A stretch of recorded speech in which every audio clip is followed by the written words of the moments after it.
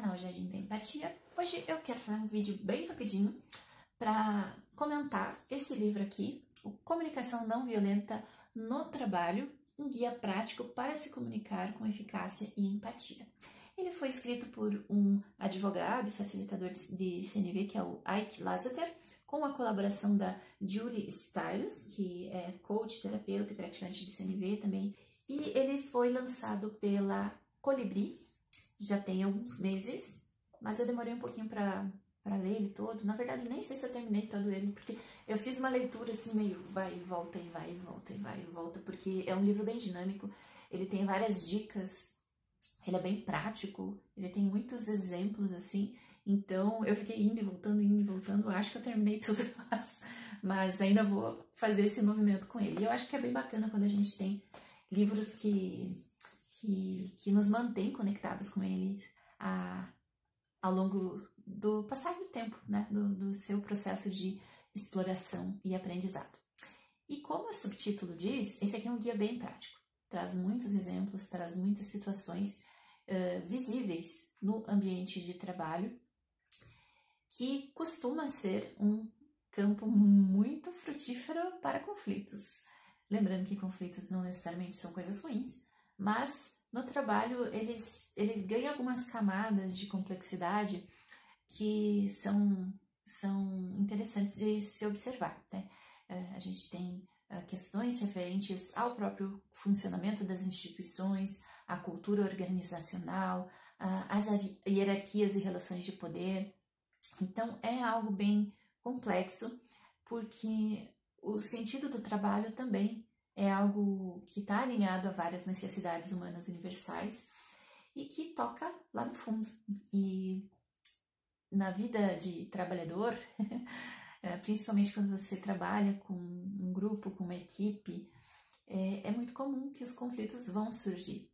E muitas vezes eles podem ser super potenciais para a criatividade, para a inovação, para o desenvolvimento de novas habilidades naquela equipe, de novos resultados de novas perspectivas e projetos, mas também tem esse outro lado de que quando a gente não consegue dialogar de uma forma empática, de uma forma coerente, de uma forma aberta sobre os conflitos, eles podem minar o trabalho e gerar processos de sofrimento, processos de síndrome de burnout, por exemplo, estresse agudo, enfim, uh, vai distanciando a nossa relação positiva com o mundo do trabalho. E claro que a gente tem dimensões políticas também que, que se envolvem nesse cenário todo, mas aqui a gente tem algo que é bem prático para pensar o ambiente mais próximo do trabalhador. Né? Eu trabalho em equipe e sei o quanto isso é impactante né? quando você sai do trabalho sem ter um conflito bem esclarecido, bem desenvolvido, uh, quando você tem ali um, um, um processo onde há uma disputa de poder ou uma disputa de opiniões muito forte e, as, e não é fácil de lidar, afinal, o ambiente de trabalho é um ambiente em que a gente é, tem uma estratégia de sobrevivência muito fundamental, que é a, tanto a, a questão do salário, do dinheiro, que vai ser fundamental para a gente suprir uma série de necessidades e responsabilidades, como também a realização uh, e, e, a própria uh, a própria questão da socialização, das conexões que a gente faz nesse ambiente. Eu, pelo menos, gosto de pensar no meu ambiente de trabalho como um espaço de conexão com outras pessoas que também se constrói afetivamente. Então, lidar com conflito nunca é muito fácil nesse processo. E aqui a gente tem várias dicas de situações como ah, como lidar com questões de piadas preconceituosas no ambiente de trabalho, ou mal entendidos, ou uh, situações de hierarquia. Ele é bem bacana porque ele vai diretamente uh, falar da realidade que a gente percebe no ambiente de trabalho. E uma coisa interessante é que Uh, depende, dependendo da cultura organizacional, tem locais em que não é bem visto você apresentar uma vulnerabilidade ou, ou enfim, expressar sentimentos e a CNV é justamente sobre isso, né? Sobre a gente se conectar com sentimentos, se conectar com necessidades e coisas muito, é, muito importantes para a vida.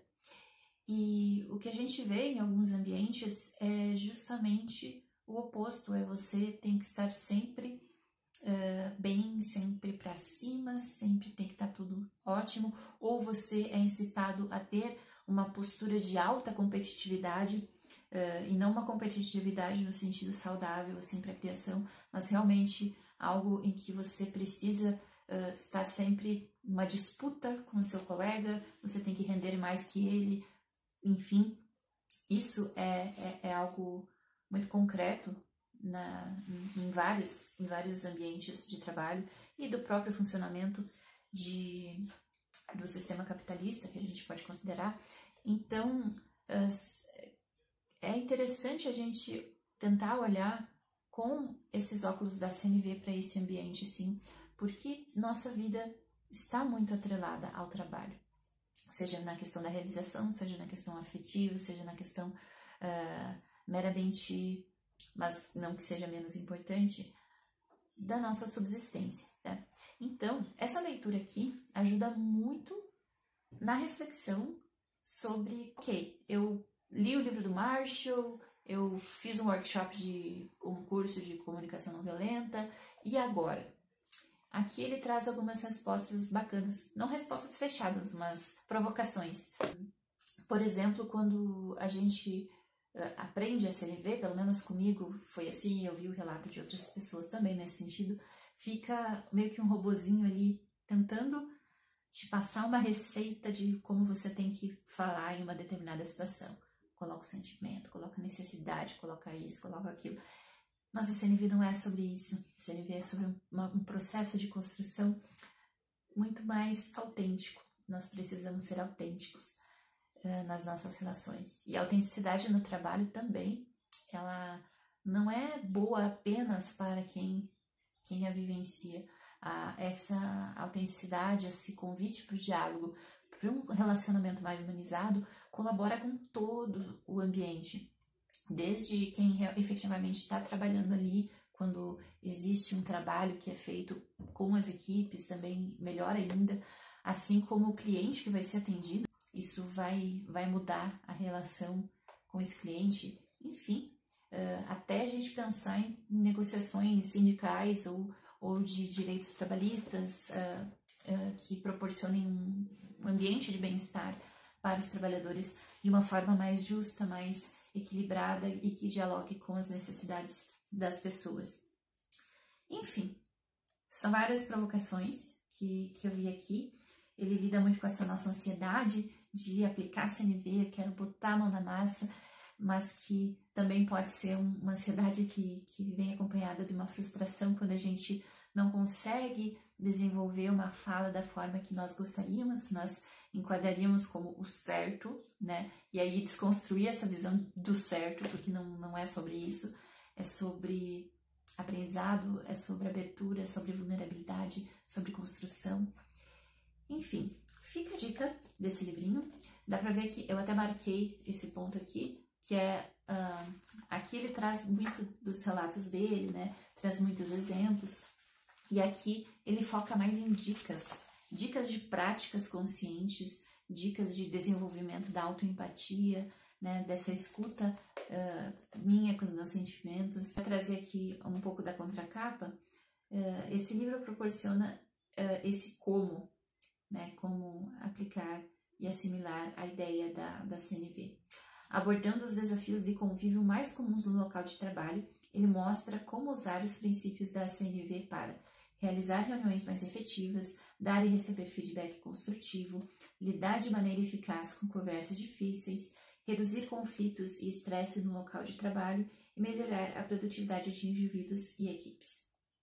Então, aqui é, eu indicaria especialmente para quem tem alguma posição de liderança de equipe, né? Mas não somente, eu acho que todo mundo é, que, que trabalha em grupo, principalmente, pode se beneficiar dessa leitura. Ela traz muitas ideias e é isso.